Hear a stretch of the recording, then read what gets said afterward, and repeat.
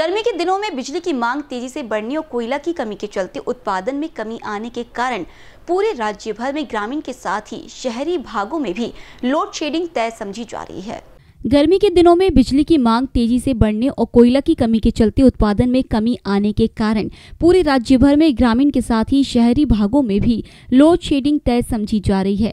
महावितरण की ओर से जानकारी दी गई है कि देश भर में फ़िलहाल बिजली की मांग बढ़ने से अभूतपूर्व संकट के हालात हैं।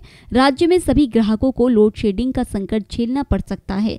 फिर भी कंपनी इसे टालने के लिए बिजली की व्यवस्था का प्रयास कर रही है।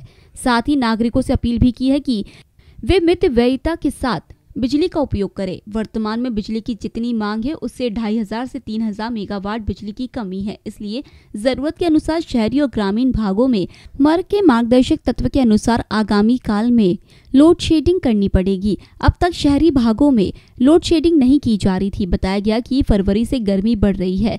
औद्योगिक और कृषि पंपों में बिजली का उपयोग बढ़ गया है। राज्य में अट्ठाईस हज़ार मेगावाट से अधिक बिजली की मांग है।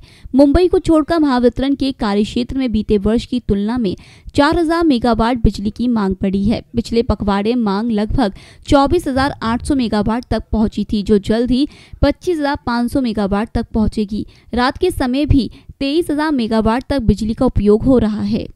कैमरा पर्सन राजकुमार मोहड़ के साथ संजय मिरे बीसीएन न्यूज़ नागपुर।